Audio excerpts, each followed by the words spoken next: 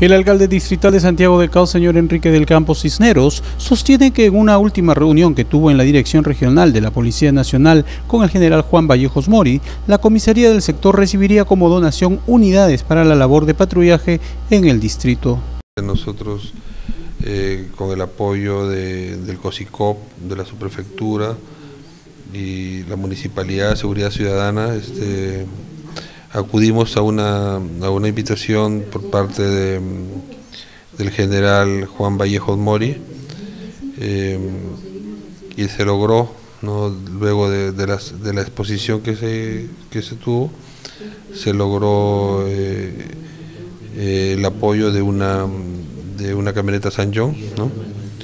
inmediatamente para, para nuestra, nuestra comisaría de Cartavio y en 10 días también una, una unidad, este, otro patrullero, ¿no? ya reparado, ¿no?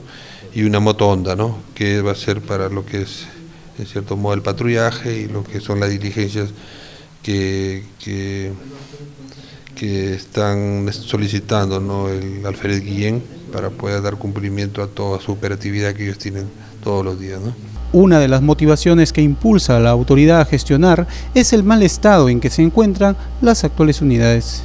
Bueno, ante todo, desde el año 2015 nosotros hemos venido ya como municipalidad accionando temas de apoyo a favor de la Policía Nacional. Sabemos de que las unidades, en cierto modo, cada dos, tres años ya de un uso, ¿no? este, en este caso intensivo que se le estaba dando a, la, a, a las unidades, ya se han deteriorado, y han quedado inoperativas y eso en cierto modo puede generar una quizás una, una, ventaja ¿no? a lo que es la delincuencia y resalta que el apoyo que brinda la comuna se basa en informes fehacientes en base a la necesidad.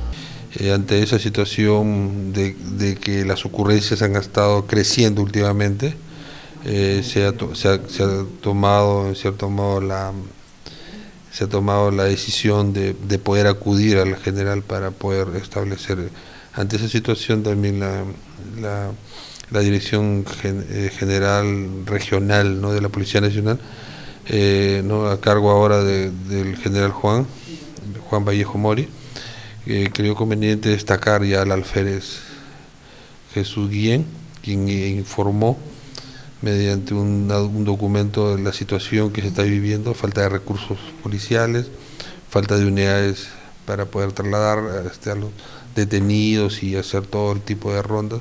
Nosotros estamos apoyando con, con el tema del serenazgo y los, la, la, los patrullajes integrados. Se espera que en las próximas unidades que lleguen cumplan verdaderamente el rol que corresponda. Eso no es en cierto modo pues, un complemento nada más.